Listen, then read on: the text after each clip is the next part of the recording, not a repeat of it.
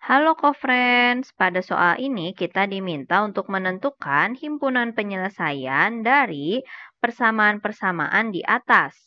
Nah, artinya kita akan mencari pasangan nilai X dan Y yang memenuhi dua buah persamaan ini. Di sini kita akan menggunakan metode substitusi. Nah, kita akan substitusikan salah satu persamaan ke persamaan yang lainnya. Nah, di sini terdapat persamaan yang pertama, Y sama dengan X kuadrat plus 3X min 15. Kemudian persamaan yang kedua, Y sama dengan 2X kuadrat plus 2X min 17. Maka misalkan kita akan substitusikan persamaan kedua ke persamaan yang pertama. Maka kita akan ganti Y di sini dengan 2X kuadrat plus 2X min 17.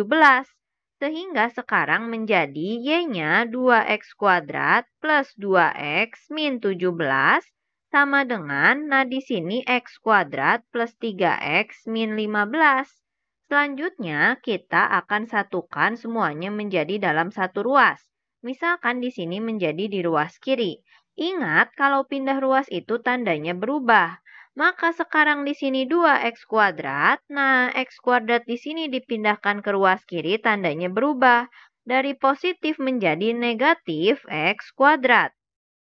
Plus 2x, kemudian plus 3x dipindahkan ke ruas kiri menjadi min 3x.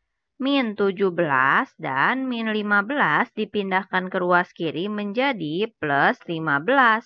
Sama dengan 0. Sehingga sekarang kita akan memiliki X kuadrat min X, kemudian min 2 sama dengan 0. Kita akan faktorkan X kuadrat min X min 2 ini. Caranya kita akan cari dua buah bilangan yang ketika dikalikan hasilnya adalah min 2, ketika dijumlahkan hasilnya adalah di depan X ini sebenarnya ada angka 1, Nah, ketika dijumlahkan hasilnya adalah min 1. Maka sekarang kedua bilangan ini adalah min 2 dan 1. Min 2 dikali 1 hasilnya min 2, min 2 ditambah 1 hasilnya min 1. Sehingga pemfaktorannya menjadi x min 2 dikali dengan x plus 1 sama dengan 0. Untuk mendapatkan nilai X-nya, masing-masing faktor di sini akan kita sama dengan 0. Sehingga kita akan memiliki yang pertama, X min 2 sama dengan 0, X-nya sama dengan 2. Kemudian X plus 1 sama dengan 0, X-nya sama dengan min 1. Misalkan ini adalah X1, ini adalah X2. Nah, sekarang kita akan cari masing-masing nilai Y1 dan Y2. Caranya kita substitusikan nilai X-nya ke persamaan yang pertama atau ke persamaan yang kedua. Bebas pilih yang mana saja, misalkan saya pilih mensubstitusikan ke persamaan yang pertama, yaitu persamaannya Y sama dengan X kuadrat plus 3X min 15. Maka untuk X1 yang sama dengan 2, kita akan ganti X-nya itu dengan X1, yaitu 2, untuk mendapatkan nilai Y1.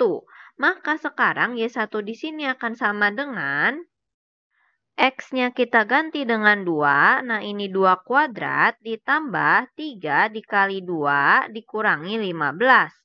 Y1 sama dengan 4 ditambah 6 dikurangi 15.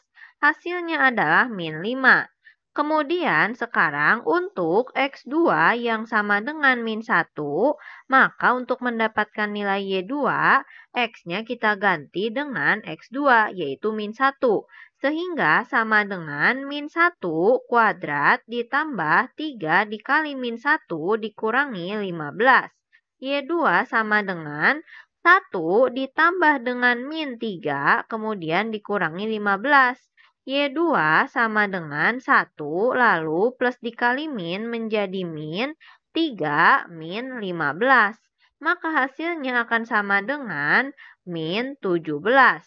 Sehingga sekarang kita akan memiliki pasangan X1 dan Y1 di sini X1-nya adalah 2, Y1-nya min 5. menjadi 2, min 5. Kemudian untuk X2 dan Y2, X2-nya adalah min 1, Y2-nya adalah min 17. Maka di sini min 1, min 17. Sehingga kesimpulannya, himpunan penyelesaiannya akan sama dengan yang pertama terdapat 2, min 5, kemudian min 1, min 17. Nah, inilah jawabannya. Sampai jumpa di pembahasan soal selanjutnya.